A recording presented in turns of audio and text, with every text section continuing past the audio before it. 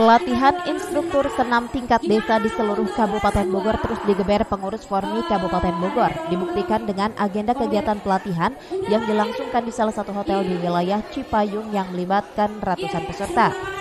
Didik Satria selaku pengurus mengatakan kepelatihan instruktur senam ini diikuti lebih dari 300 peserta yang dibagi menjadi dua gelombang. Para peserta ini merupakan instruktur senam perwakilan dari masing-masing desa yang ada di wilayah Kabupaten Bogor. Lebih lanjut, pelaksanaan pelatihan instruktur senam ini menggunakan protokol kesehatan yang sangat ketat. Semua kegiatan yang dilakukan Formi sangat mematuhi anjuran dari Satgas COVID-19 Kabupaten Bogor, termasuk dalam hal rapid test kepada semua peserta kegiatan yang dilakukan Formi Kabupaten Bogor selama ini.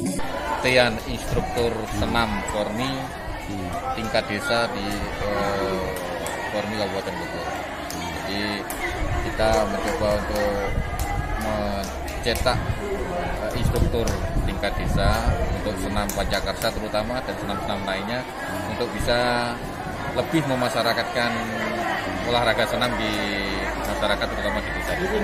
Ini akan kita jadikan uh, dua gelombang yang sekarang gelombang pertama ada 198 peserta dan itu dibagi menjadi dua kelas masing-masing kelas 100 dan 94. Ya trennya sih cukup oh, bagus peningkatannya karena dari setahun yang lalu belum ada formil sampai hari ini sudah ada berbagai macam kegiatan dan alhamdulillah sampai desa-desa ini kalau kita sebut formi apa, salam formi apa, Betul, ya, sudah ya. tahu semua.